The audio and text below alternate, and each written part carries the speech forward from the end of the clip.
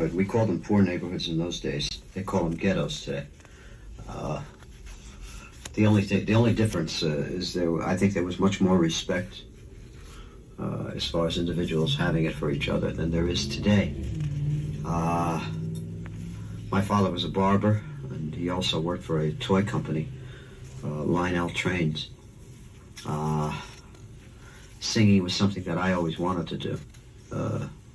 My family not knowing too much about it, just kind of thought that people that stayed out till strange hours of the night, that that wasn't what was considered to be a real job. Was uh, was there much music in the house in terms of anything they did, or, or you know, a lot of radio? records? Yeah, my father was uh, into uh, classical music more than anything else. Uh, he he liked the opera, and uh, he liked singers like uh, Caruso and Mario Lanza. And contemporary music was a very foreign thing as far as he was concerned. Were you into that stuff much at all as a kid? Yes, I was.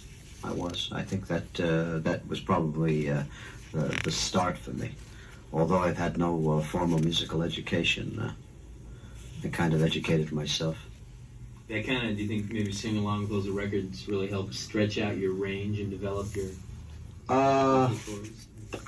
I think uh, listening to stylized singing, people who were doing uh, styles as opposed to uh, school-taught kind of singing, people. Uh, there were a lot of. Uh, I was very heavily influenced by uh, R&B music before it, ever made the crossover, or blues.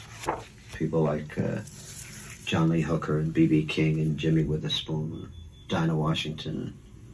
I was also very much influenced uh, uh, by jazz, especially